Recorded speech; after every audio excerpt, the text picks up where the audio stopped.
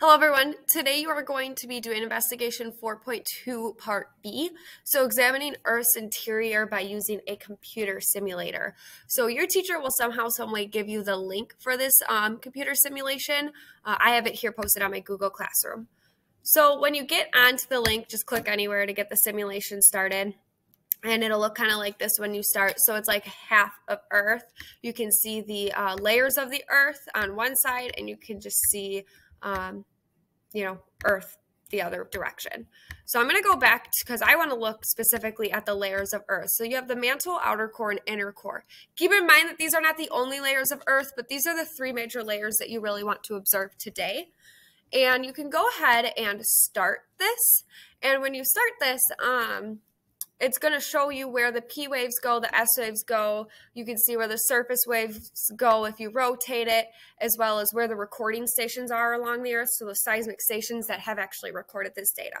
Um, the data that you are seeing here is actual data from the 2004 Sumatra quake and tsunami. You can click on this link um, to read more about that earthquake. Um, so this is real data, guys.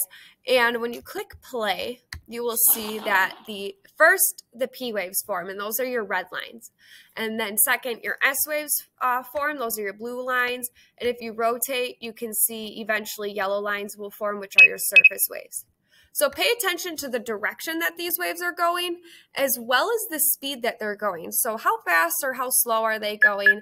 And what layers of Earth are they going through, or what's happening? They might be going through the layers of the earth. You can see the P waves are doing that. Um, they might be deflecting at one of the layers of the earth. That's kind of what those S waves are doing. But the waves aren't just disappearing, they're just moving elsewhere.